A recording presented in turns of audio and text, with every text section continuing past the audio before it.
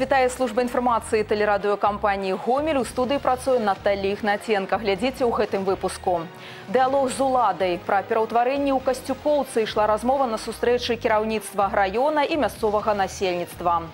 Збожжа на элеватары Гомельская вобласць выканала дзяржзаказ на 90%. Адно жыццё, адно каханне. У Мазыры адзначылі брыліянтавы юбілей вяселля. Іх работа ратаваць жыцці. У жлобінскім раёне праходзяць спаборніцтвы выратавальнікаў. А зараз аб гэтым і іншым больш падрабязна. У мікрараёне Касцюкоўка чыгуначнага раёна горада Гомель адбылася сустрэча мясцовага насельніцтва і ўладаў. На парадку дня пераўтварэнні, якія ўжо адбыліся і яшчэ будуць працягвацца на тэрыторыі, што адносна нядаўна ўвайшла ў гарадскую мяжу. Сустрэча ладзілася ў фармаце адкрытага дыалогу. Размову з насельніцтвам вялі кіраўнік адміністрацыі чыгуначнага раёна Гомеля Віталь Уткін і дэпутат палаты прадстаўнікоў нацыянальнага сходу Іван Корж. Яны агучылі тое, што ўжо зроблена і распавялі пра бліжэйшыя планы.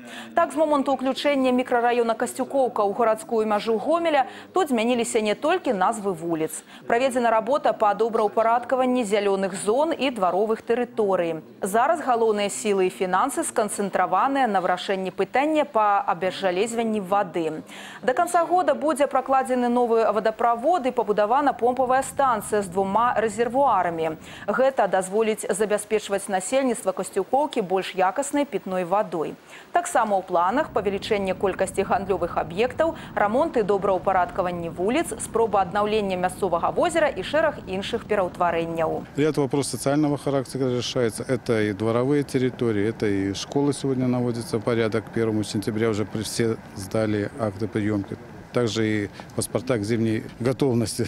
Они все приняты 100%. На сентябрь планируется у нас еще около трех улиц, которые мы должны провести покрытие. И, наверное, еще одна или две дворовые территории, которые мы ямочный ремонт и закроем по поручению Петра Алексеевича, мэра нашего города. Мы закроем как бы тематику дворовых территорий. Дзяржзаказ па пастаўках збожжа ў рэгіёне выкананы на 90%. Усяго гаспадаркі паставілі больш як 90 тысяч тонн. Адгружана ў лік дзяржзаказу 30 тысяч тонн харчовай пшаніцы. Хлебапрыёмныя пункты і элеватары прынялі 42 тысячы тонн жытняга збожжа і каля 20 тысяч тонн іншых культур. Цалкам справіліся з дзяржзаказам гаспадаркі шасці раёнаў. Прычым добружскі перавысіў план на чвэрць, лояўскі на 13%. Рэалізацыя беларуска-кітайскага праекта па вытворчасці кардону ў добрушы ўступіла ў фінальную стадыю. Абдаўнічыя работы на новым прадпрыемстве выкананы на 95-98%. Монтаж абсталявання таксама практычна завершаны. Як хутка на заводзе распачнуцца пускавыя работы і як ацэньваюцца перспектывы вытворчасці, даведалася Наталья Капрыленко. Будаўніцтва завода па вытворчасці мілаванага немілаванага кардону вядзецца па праграме тэхнічнай мадэрнізацыі добружскай папяровай фабрыкі герой працы. Вытворчая магутнасць складзе 200 тысяч тонн гатовай прадукцыі ў год. Патрэба ў кардоне на беларускім рынку складае каля 40-60 тысяч тонн. Астатняе будзе накіроўвацца на экспорт. Ужо зараз наладжаны сувязі з замежнымі кампаніямі, якія зацікаўлены ў добружскай прадукцыі. Добружской бумажной фабрики скоро наступит юбилей, 150 лет. Э, ресурс бумагоделательное производство, за исключением БДМ-821, которое было реконструировано, модернизировано э, четырьмя годами ранее изношено. Поэтому основной аспект мы сделали на перевод рабочих филиала Добрской бумажной фабрики «Герой труда» на новое производство. Дополнительно к численности нового завода будет открыто порядка 200 220 рабочих мест. Тэрыторыя будучага завода амаль 33 гектары, будаўнічыя работы на фінішы. Сярод аб'ектаў, увядзення якіх ужо завершана міні-цеплаэлектрастанцыя. Яе котлы будуць працаваць на газе і адходах перапрацоўкі з шапы. На тэрыторыі прадпрыемства знаходзяцца два спецыяльныя краны. Яны будуць падаваць бярвенні ў цэх. У гэтым асаблівасць і перавага новай добружскай лініі. На прадпрыемстве сканцэнтраваны поўны тэхналагічны цыкл ад падачы сыравіны да выпуску кардону. Агульная працягласць лініі 360 метров метров. Данная фабрика, она экспортоориентированная, выпускает продукцию, которой на сегодняшний день в Беларуси нет, импортно-замещающая. Продукт высокого качества, готовая продукция. Поэтому ну, перспективы очень-очень хорошие. и развитие этого направления для Беларуси, и не только для Беларуси, на постсоветском пространстве очень-очень большое. Сердце вытворчасці новая кардонавырабляальная машина працягласць прамысловага гіганта 180 метров. Пасля запуску лінія зможа выпускаць кардонавае палатно памерам ад 80 до 420 сантиметров. Ужо на стадыі будаўніцтва аб'екта рыхтаваліся спецыялісты для работы на новых лініях. Многія прайшлі стажыроўку ў кітайскай народнай рэспубліцы. Плануецца, што пасля выхаду заводу на поўную магутнасць для новых рабочых будзе гатова і ўся інфраструктура, у тым ліку інтэрнаты. Наши технические специалисты и мы, как заказчик по проекту, оцениваем возможность проведения, завершения пусконаладочных работ и проведения комплексного опробования при нормальном развитии событий в ноябре этого года. Наталья Капрыленко, Игорь Марыщенко, телерадиокомпания «Гомель», Добруш.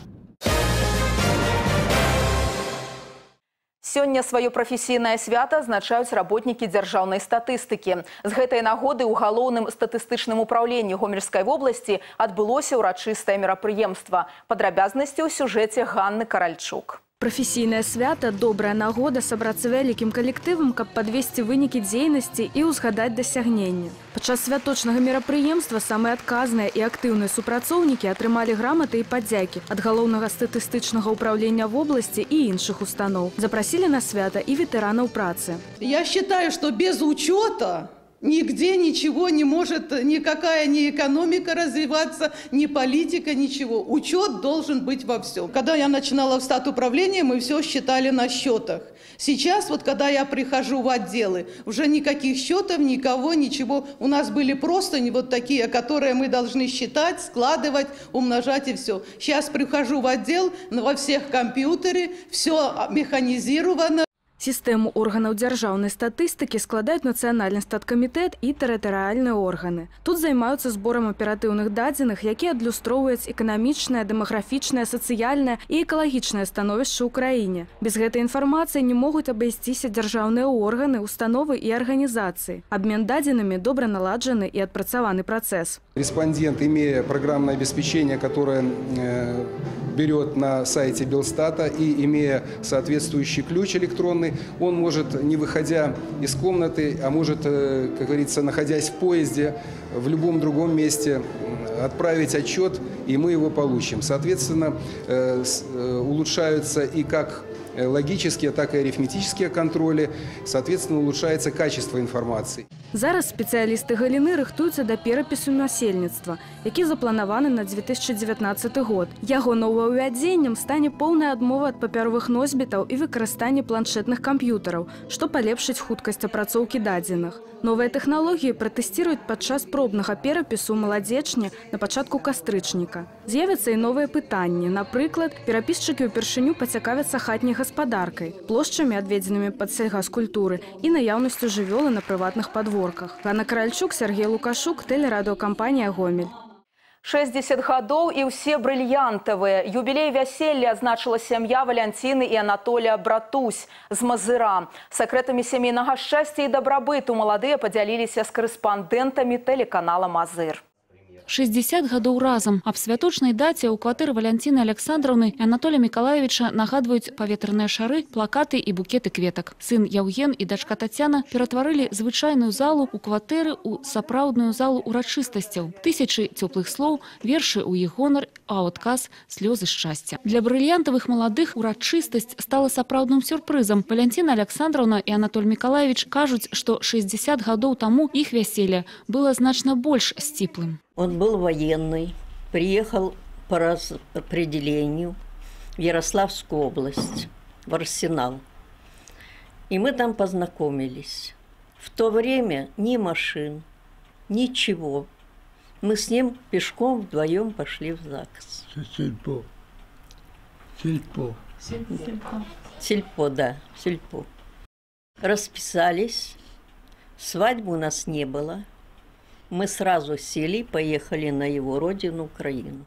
Ён усё жыццё на ваеннай службе. Яна працавала ў дзіцячым садку. Дзяцей выхоўвалі уласным прыкладам. Дачка Тацяна заслужаны педагог рассіі. Сын Яўген падпалкоўнік расійскай арміі. Былі разам і ў горы і ў радасці. перадольвалі цяжкасці і ніколі не пашкадавалі аб сваім галоўным выбары ў жыцці. Мы очень любили друг друга, это раз. Это была моя мечта выйти за военного.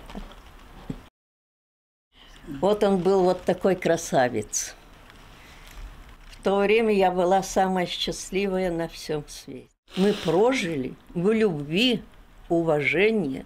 И дай Бог, чтобы эти наши дети также прожили, как прожили мы эти годы. Яны заўсёды былі палавінкамі аднаго цэлага. І нават пасля таго, як Анатоль Миколаевич захварэў, Валянціна Александровна з неахвотай выходзіць з дома адна. Заменнік мы, з'явіўшыся ў іх лексіконе 60 гадоў таму, замацаваўся ў ім назаўсёды. Мы ни одного дня, ни одного часа не были врозь. В отпуск мы вместе. Где вы, магазин мы вместе, нас вот здесь. Почему это сегодня вы одни? Нас уже знают только вместе. Мы никогда не ходим по одному. Анатолію Миколаевичу казаць цяжка. За яго гавораць слёзы. Ён гладзіць сваю валюшу па плячы і не перастае дзякаваць за шчасліва прожытыя гады. Потому что мы живем на уважении, доверии и любви. Лідія Потар, Вячеслав Припіснов, телеканал Мазыр спецыяльна для тэлерадыёкампаніі Гомель. Выратавальнікі Беларусі і Латвіі выяўляюць мацнейшых і дзеляцца вопытам. Сёння ў жлобінскім раёне стартавалі прафесійныя спаборніцтвы вадалазаў. З асаблівасцямі іх нялёгкай службы азнаёміўся Олег Сенцюроў. Команды вартавальнікаў з усіх абласцей Беларусі, рэспубліканскі атрад і група вартавання на водах гомельскага абласнога свода. Па сутнасці гэта менавіта тыя людзі, якія гатовыя прыйсці на дапамогу ўсім, хто трапіў у бяду на вадзе. Апрача таго, сёлета упершыню удзел у спаборніцтвах прымае зборная Латвіі. Тры гады яна прыязджала ў Беларусі ў якасці назіральніка, сёлета выступае ў агульным заліку. Дарэчы, у гэтым годзе зборная каманда нашай краіны выступала на спаборніцтвах у Латвіі і заняла першае месца. У нас нет отдельного э, отряда э, водолазов. У нас водолазы, они занимаются и спасением людей, и пожаротушением. Поэтому, наверное, все-таки э, белорусские водолазы, которые занимаются только спасением на воде или под водой, скажем, они, наверное, лучше подготовлены. Но я думаю, что, не думаю, а знаю, уже несколько лет, что мы с ними с- э, на равных э, соревнуемся. Кожны год рэспубліканскае спаборніцтва вартавальнікаў вадалазаў і вартавальнікаў плаўцоў праходзіць на розных вадаёмах. Гэта дазваляе лепш азнаёміцца з асаблівасцямі розных рэк і азёр, выхаваць у каманд пачуццё калектывізму і вызначыць сапраўды лепшых. Заданні на першы погляд не складаныя, але для іх выканання патрэбны сапраўдны прафесіяналізм. Дарэчы, для таго, каб стаць спецыялістам другога класу, вадалазу неабходна правесці пад вадой не менш за 500 гадзін першага тысячу. І такая лічба самы глыбокі вадаём у Беларусі 59 метраў. Праўда, падчас гэтых спаборніцтваў на такія глыбіні не пагружаліся. Вось гэта не проста пластмасовы манекен з неафіцыйнай мянушкай Паўлік. Падчас спаборніцтваў ён выконвае ролю пацярпелага. Некалькі разоў яго топіць на глыбіні ў 3,5 метра, а потым выратоўваюць. Гэта толькі здаецца, што на глыбіні ўсё цудоўна і прыгожа. На самой справе работа вадалаза ў спісе самых небяспечных. Адзіная ў Беларусі баракамера, якую ў якасці абсталявання прывезлі на спаборніцтве, выкарыстоўваецца не толькі на пагружэнні звыш 12 метраў, але і лячэнне прэсійных захворванняў. Для таго, каб стаць вадалазам, увогуле неабходна быць не проста фізічна здаровым, але і мець адпаведную псіхалагічную устойлівасць. Летом хорошо, тепло, каждый может залезть в воду. А зимой, когда вырезается лунка, когда туда спускается водолаз, это даже психологическое воспитание спасателя-водолаза. Когда снаружи минус 20, ну, а ты лезешь в воду, и все равно э, зимой точно так же проваливаются машины под лед, всегда приходится где-то поработать. Поэтому спасатель должен быть подготовлен на любой промежуток года. А также еще на реках присутствуют ямы определенные, где-то под корч может занести.